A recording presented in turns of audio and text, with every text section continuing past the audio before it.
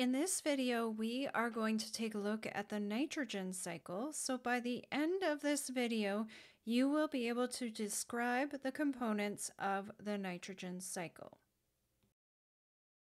Nitrogen is essential for life. It's part of building proteins, building our nucleic acids, providing energy for life, and most of the nitrogen in the atmosphere, so about 78% of it, is found in the form of N2, which is also known as diatomic nitrogen.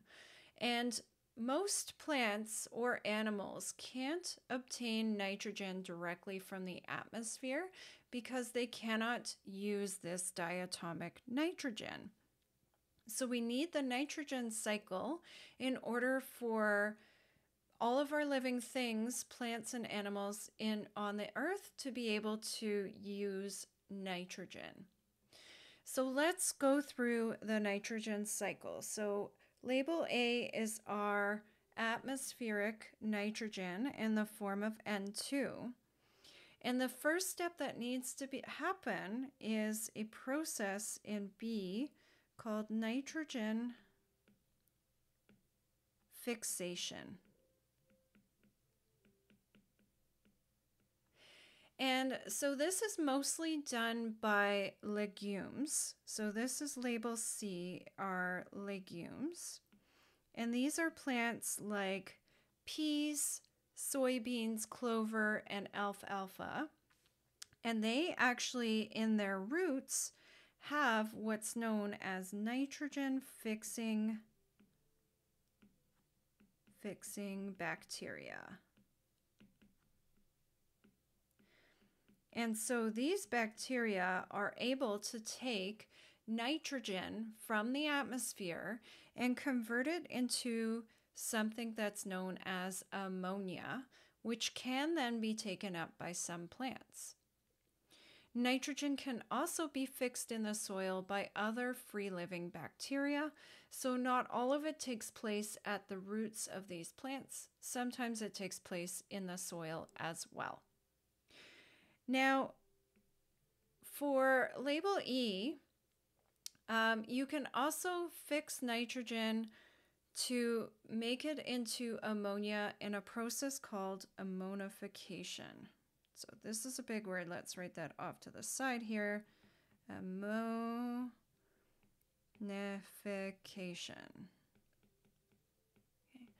Uh, the soil is a major reservoir for ammonia and other nitrogen containing compounds. And so that process will then take that ammonia and or convert that into um, ammonia with the process of ammonification. Okay, so once we've got it in the form of ammonia, then from here, other bacteria in the soil are going to convert the ammonia into a product called nitrate. Now, this process, F, is called nitrification, and it actually happens in two steps. So the first step is the ammonia gets converted into nitrite, uh, which is one form. And then a different set of bacteria converts it into nitrate. All right, and then from here, nitrate can be consumed by plants. So this is label I here, is that now the nitrate is consumed by plants. And so plants then use it and create various products within it. And then from here, our animals, mostly our herbivores, consume the plants. And so then they can digest those products and use the nitrogen to build proteins, to build in their DNA, to give them energy. But what then happens is that those animals, when they digest it, the nitrogen some of the nitrogen then becomes ammonia again. Now, this is toxic for animals, so they ex- excrete it in their waste and it goes back into the soil. So then it can be ammonification, go through the process of ammonification again.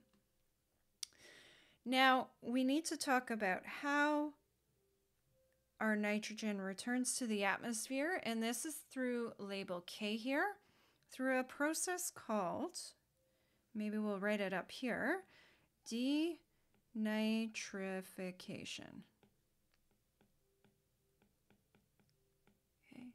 Um, this is performed by a variety of bacteria, fungi, other organisms, and essentially it does the reverse. So it takes nitrates that are in the soil, breaks them down, and releases nitrogen, that pure elemental nitrogen, back into the atmosphere. So that is the complete nitrogen cycle. You can continue it over and over again, and that is how nitrogen gets fixed and used by various different living things within an organism, an, an ecosystem.